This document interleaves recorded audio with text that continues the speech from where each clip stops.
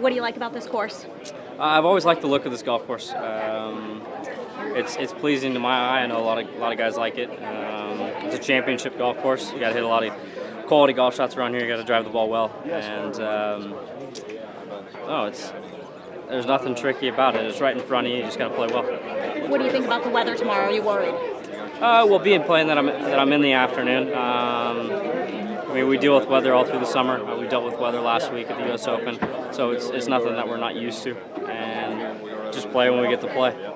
For our viewers out there, what's your routine tonight? What do you do to get ready for the first day? Uh, well, I'm pretty much done for the day now. Played the pro-am this morning and um, got a little work in with my trainer just before coming here, so shut it down, get a relaxing afternoon in. I think I might go to the movies with a couple of, couple of buddies from that also play out here and relax, get some dinner, and get ready to go.